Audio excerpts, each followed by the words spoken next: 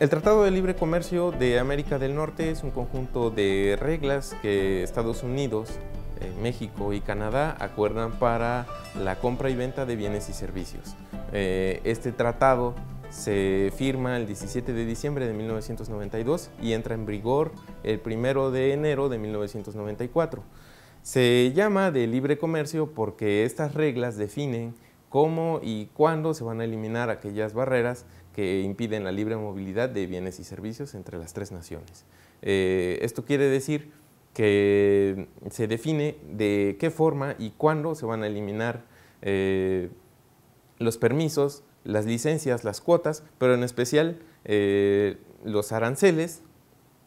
y esto se traduce pues, en, todo el conjunto de impuestos que se tienen que pagar por importar una mercancía. Eh, otra de las cosas que hace el Tratado de Libre Comercio pues es eh, definir cuáles son aquellos mecanismos eh, para poder dar solución a las diferencias que siempre surgen en las relaciones comerciales entre las naciones. Sin embargo, algunos críticos han señalado que el Tratado de Libre Comercio es el responsable de la pérdida masiva de empleos en el sector maquilador estadounidense y en este sentido pues es lo que pone en discusión eh, pues, eh, este acuerdo. Por otra parte, el presidente Donald Trump, eh, presidente estadounidense, desde que inicia su administración tiene la idea de renegociar o en el peor de los casos pues dejar este, este acuerdo. Y esto por considerar que pues de alguna forma el acuerdo pues no es eh, como, como, debería de ser en términos de, beneficios para los norteamericanos. Eh, recientemente, el 31 de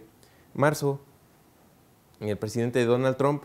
emite un decreto para elaborar un reporte, el reporte se llama Omnibus, sobre eh, déficits significativos para poder conocer si los socios comerciales de Estados Unidos eh, han incurrido en prácticas desleales que han afectado pues, los intereses del gobierno norteamericano. En ese sentido, a esta consulta, el gobierno mexicano ha respondido eh, comentando a través de la Secretaría de Relaciones Exteriores por medio de un documento emitido el miércoles 10 de mayo que eh, las relaciones derivadas de este tratado han sido beneficiosas y sobre todo han implicado un mayor eh, crecimiento económico, se ha fortalecido el sector eh, manufacturero y por otra parte eh, se ha propiciado que Estados Unidos tenga un mayor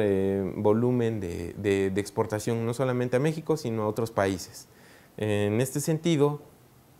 pues la respuesta toca cuatro puntos importantes. El primero, eh, los gravámenes que no parecen ser iguales eh, para los países. Por otra parte, eh, también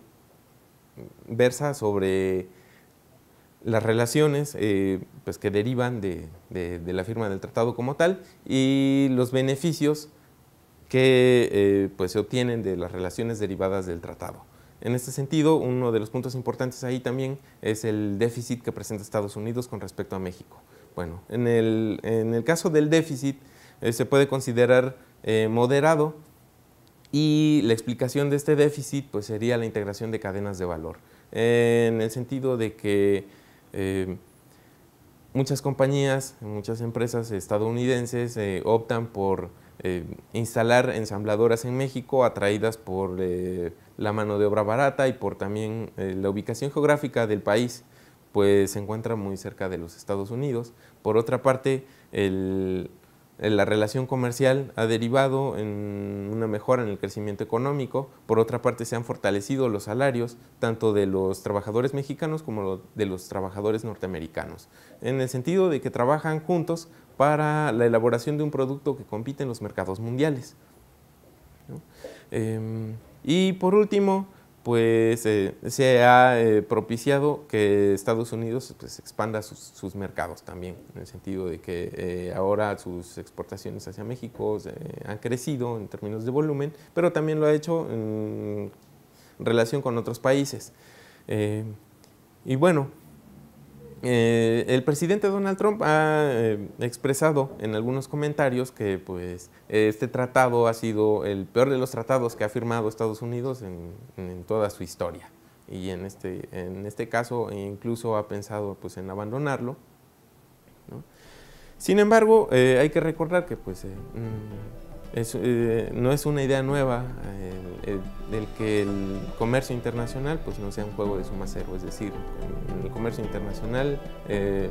no se da que las ganancias de un país sean pues, las pérdidas de otro país. Los dos países ganan cuando practican el comercio internacional.